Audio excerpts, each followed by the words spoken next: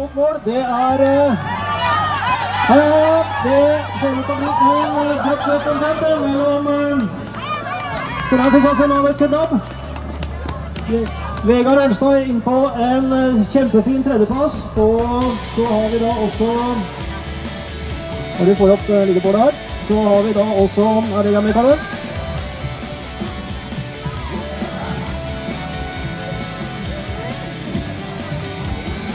Det ble da en sluttid. Damberg på 29 minutter og 10 sekunder. Eh, Vegard Ørstad fikk 29,16. Det blir målfoto det mellom eh, Senai og Avet.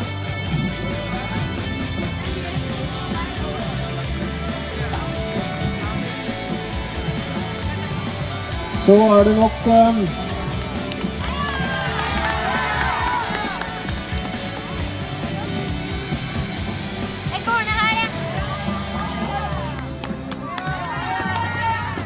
Vi har fått eh, der Andreas Myhre Skjulseth i mål også.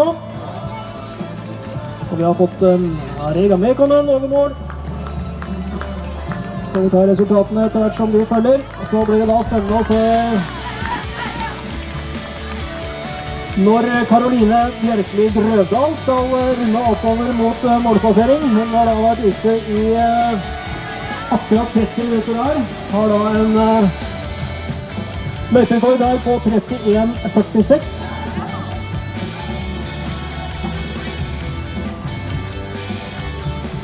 Ser jeg, dette er også fantastiske tider som eh, kommer oppover.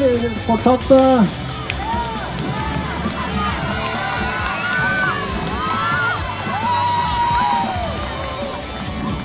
Der har vi eh, Simen Alberger i også, som løper da i 16-17-årsklassen. Fantastisk innsats. Veldig bra.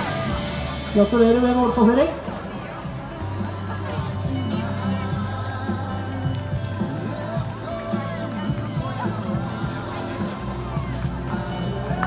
Av tidligere mål da, så har vi